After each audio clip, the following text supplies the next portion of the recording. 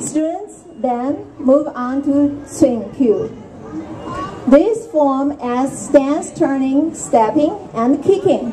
Alex Linden will now demonstrate Chum Kiu. 行桥是呃咏春拳的第二式，那么它加入了转身步伐和踢。那么现在的表演者是 Alex Linden。